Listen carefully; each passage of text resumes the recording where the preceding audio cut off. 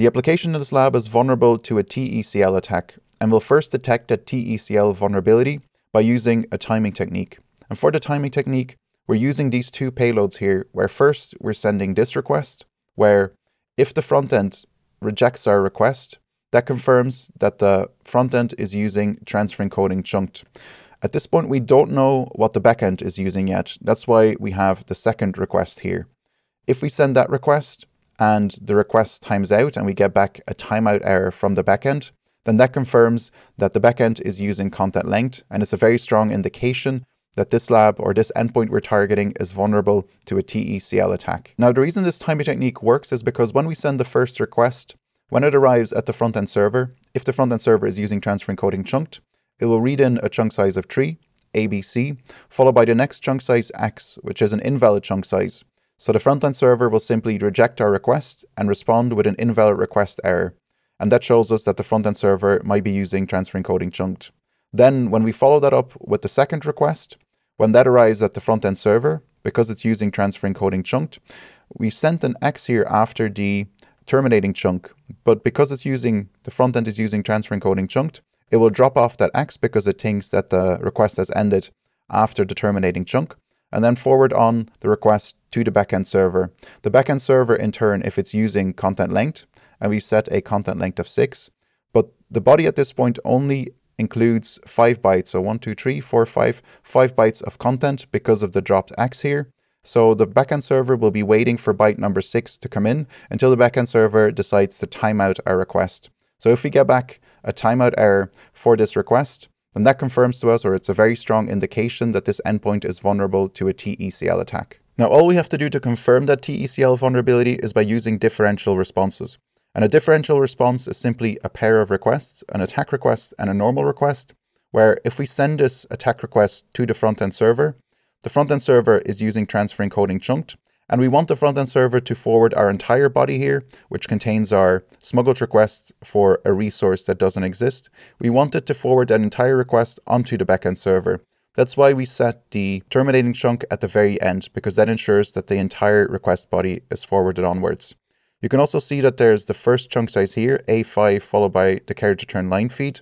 That includes everything from post up to and including x equals 1.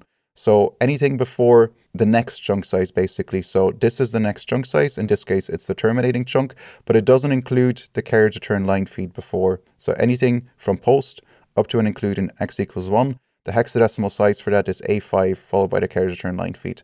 I'll go through when we work through the lab how you can easily see this through burp. Then this request is forwarded on to the backend server. The backend server is using content length and we've set a content length of four. So the backend server thinks that the request has ended right here after the first chunk size, A5, followed by the carriage return line feed. Then it's poisoned by this prefix here, the request that we smuggled in, so the post request for the resource that doesn't exist.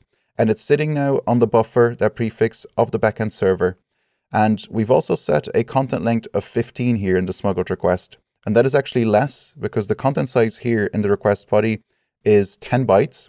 So the backend server, when it reads this uh, prefix in, it's still waiting for 5 bytes of content to come in before it would execute this request. That's why we follow it up, the normal, the attack request with our normal request here, which is just a very simple GET request for the front page. Gets forwarded on to the front end server. The front end server forwards it on to the backend server. And because the backend server is poisoned by this prefix and it's waiting for five more bytes to come in, this content is appended right after our body here. So only five bytes of our uh, normal request are actually appended to the prefix here. So the get, the space, and then the slash. And the rest of the request is still sitting on the buffer of the backend server at this point, or it's discarded by the backend server. It kind of depends on the implementation.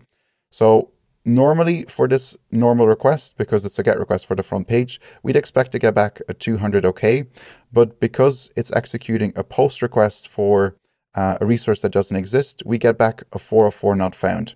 And that 404 response differs. That's why it's called a differential response. It differs from the 200 OK that we normally expect to see. And that confirms that this endpoint is vulnerable to a TECL attack. So now let's see what that looks like in the lab. I'm going to switch to burp and then go to proxy and HTTP history. And I'm going to grab the get slash request for the root endpoint here and send it to repeater, switch to repeater. the first thing you want to do, you can see here on line 1 that we're using HTTP2. You want to go to the inspector window on the right under request attributes and downgrade that to HTTP 1.1. And next thing we're going to do is change the request method to post. And then I'm also going to show new lines or carriage return line feeds. That's always handy when you're doing request smuggling. I'm also going to clean up some of the request headers here. So anything above content type and underneath the host header. It's not absolutely necessary, but it makes things a bit easier to follow along. I'm going to edit the width here as well. And then under the request settings, I'm going to turn off update content length automatically because for the timing techniques, we want to be able to control that ourselves because we're going to set it to a value of 6. And then on the next line, we're going to set a request header transfer encoding for a value of chunked. You want to make sure that there's a carriage return line feed uh, below your request headers to separate it from the request body. And in the request body, we're setting a chunk size of 3, ABC, followed by the invalid chunk size X, followed by a new line. And when we send this request, we immediately get back a 400 bad request or invalid request. And that's the response that we get from the front end server because it's a strong indication that it's using transfer encoding chunked because it is reading in a chunk size of 3, ABC. It's then reading in the next chunk size X, which is an invalid chunk size, and that's why the front end is rejecting our request. Now let's find out what the backend server is using. So I'm going to delete the payload that we had here in the request body before. And then I'm going to set a terminating chunk, so the 0 followed by the two carriage return line feeds, and then the letter X, but not followed by a carriage return line feed. We're going to leave the content length at 6, and then send this request. You can see the response is already taking a long time to get back, and eventually it'll time out. And that's because when we send this request, the front-end server is using transfer encoding chunked. It thinks that the request has ended here after the terminating chunk. It will actually drop the X because of that, that means that we have, if you if I select this here, one, two, three, four, five, five bytes of content, as you can see here, we're in the selection window. And we have set a content length of six. So when this arrives, this content arrives of five bytes at the backend server, which is using content length. It's waiting for that six byte to come in. And because it doesn't, we get a communication timeout. So we get uh, this error right here. And that, through the timing techniques, confirms to us or it's a very strong indication that this endpoint we're targeting is vulnerable to a TECL attack. So now let's confirm that TECL vulnerability by using differential responses. So what we want to do is we want to turn this request into our attack request. So I'm going to rename this tab to attack request. And then I'm going to delete what we had in the body here before. We will have to modify the content length. So I'm going to put just a placeholder here to remind us that we have to edit this because once we've written our Smuggler's request we'll work um, bottom up to, to fix all the chunk sizes and the content lengths. So for our body here, we will have to define a chunk size here. And then underneath, we want to set our uh, smuggled request. So our smuggled request will be a post request for something that doesn't exist. In this case, I'm going to go with the example that I used before uh, in the presentation. So throws 404 and then using HTTP 1.1. On the next line, we want to set a host header and a content type and a content length. So I'm just going to copy this here and paste it. Then we want to, because this is the end of our smuggled request headers, we want to set a new line to separate it from the smuggled request body. And we want to set a body with a request body parameter x for a value of 1, followed by a new line. And that's it for our smuggled request really, but we want to make sure that the front end, which is using transfer encoding chunked, forwards this entire request body onto the backend server. So to do that, we need to tell it that the request has ended, and that's with the terminating chunk at the very end. Now let's work bottom up to fix all the, the content lengths and the chunk sizes and the content length here. So for the content length, if I select the data that we have here in the request body, you can see in the selection window that it's 10 bytes in length.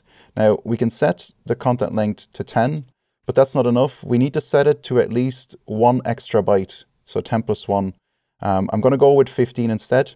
But the reason for that is that you need to set it 10 plus 1 is because you want to make sure that at least one byte of the normal request is appended to our attack request or to this prefix, this prefix here, that we're poisoning the backend with. So we fix the content length. The next thing we need to fix is the chunk size right here. Because we have the terminating chunk here, we need to fix this chunk size. This chunk size, the size, it starts at the post request and it goes all the way up to x equals 1, so including the 1 as well, but not the carriage return line feed that comes right before the next chunk size, in this case, the terminating chunk. And if you look at the selection or the inspector window here to what we've selected, the hexadecimal size is A5. So I'm just going to remove this here chunk size and replace it with A5. And then for the content length for our actual request, if we look at it from the perspective of the backend server, which is using content length, we want it to be poisoned by this smuggled request here. That means that we have to set a content length of 4, 1, 2, 3, 4, to ensure that the poisoning happens correctly and that it's just the post request um, that it's poisoned with. So I'm going to edit this and set a content length of 4. That's it for our attack request. The next thing we want is a normal request. So I'm going to go back to proxy and HTTP history and send the GET request for the root endpoint to repeater and then switch to repeater and this will become our normal request. I also want to make sure that we're using HTTP 1.1 so I'm going to go back to the inspector window and downgrade it to HTTP 1.1. Just going to send this request just to show you that we get back a 200 OK. And then I'm going to go to the attack request. So this attack request is ready. Let's send it. We get back a 200 OK. Now let's follow it up with our normal request and we get a 404 not found. And if I switch to the lab and refresh the page, you can see congratulations, you've solved the lab. I hope this was helpful to you and thank you for watching.